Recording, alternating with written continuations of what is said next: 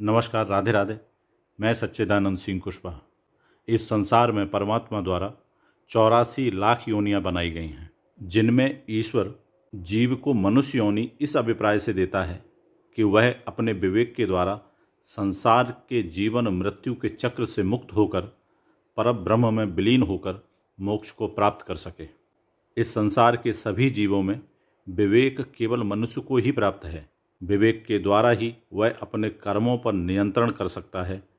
जीव की पहचान उसके कर्मों से होती है। मनुष्य संसार को अपनी इंद्रियों के द्वारा अनुभव करता है। अपनी इंद्रियों की तृप्ति के लिए ही मनुष्य किसी भी वस्तु को प्राप्त करने के लिए कर्म करता है।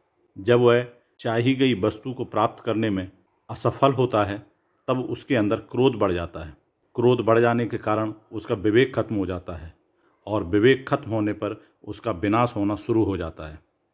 इसलिए श्रीमद् भगवत गीता में भगवान श्री कृष्ण कहते हैं कि यदि शरीर त्यागने से पूर्व कोई मनुष्य अपनी इंद्रियों के वेग को सहन करने तथा इच्छा एवं क्रोध के वेग को रोकने में समर्थ हो जाता है तो वह संसार में सुखी रहकर अंत में मोक्ष को प्राप्त कर लेता है।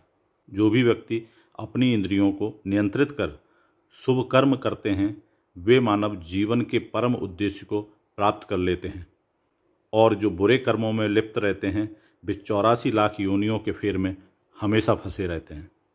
गोस्वामी श्री तुलसीदास जी ने श्री रामचरितमानस में कहा है कि, शुभ और अशुभ, कर्म अनुहारी, ईसु देह फल हृदय विचारी। अर्थात, शुभ और अशुभ कर्मों के ही अनुसार ईश्वर हृदय में विचार कर फल देता है। जो कर्म करता है वही फल पाता है। यही वह मंत्र है जिसे आत्मसात करके हम अपने जीवन को सुगम एवं सार्थक बना सकते हैं।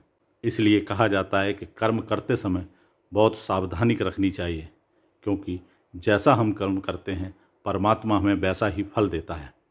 चौरासी लाख योनियों में सर्वश्रेष्ठ मानव जीवन को सार्थक बनाने के लिए हमें शुभ कर्म हमेशा करते रहना चाहिए। तभी हम मोक्ष की प्राप्ति कर सकते हैं और अपने इस मानव जीवन को सफल बना सकते हैं। हम सब पर भगवान श्री कृष्ण की कृपा हमेशा बनी रहे। इन्हीं शुभकामनाओं के साथ फिर मिलूँगा एक नई वीडियो में। तब तक आप सभी स्वस्थ रहें, हँसते रहें, मुस्कुराते रहें। जय श्री राधे राधे।